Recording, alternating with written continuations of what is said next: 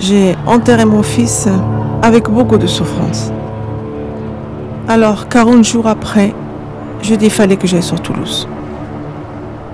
J'allais voir qui était Mohamed Marra. Pourquoi autant de haine de tuer sept victimes gratuitement? Pourquoi? Et je me suis trouvée dans sa cité. Le film, il parle.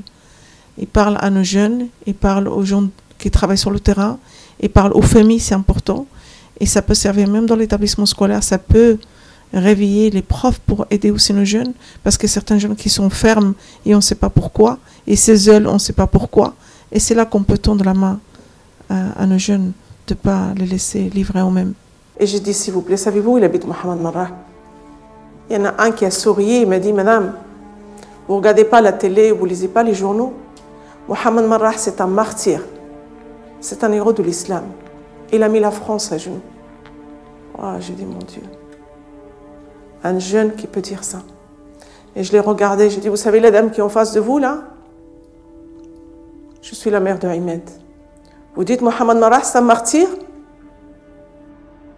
Mohamed Marrah, il a mis la France à genoux.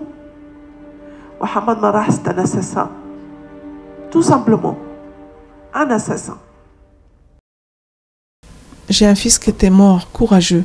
Il est mort debout. Il a refusé de se mettre à genoux. Et, j'ai dit, il m'a laissé ce message pour moi. Il a laissé le message pour le monde entier. Alors j'ai pas le droit de baisser les bras. Et je veux pas voir un autre mère. Et je veux pas voir une autre mère souffrir comme moi. Parce que la souffrance, vous pouvez s'habiller, vous pouvez voyager, vous pouvez faire tout ce que vous voulez. Mais le vide à l'intérieur, il n'y a personne qui le remplit. Et ça, c'est quelque chose à vie pour moi. C'est ça. Alors, j'ai pas le droit de baisser les bras aujourd'hui. Pour nous tous. Pour le monde entier. Vous savez, si vous sauvez un, vous sauvez l'humanité. Alors, j'ai pas le droit de baisser les bras. Voilà, ça s'arrête pas. Ça s'arrête pas aujourd'hui. La France, est en deuil. Il faut qu'on arrête ça.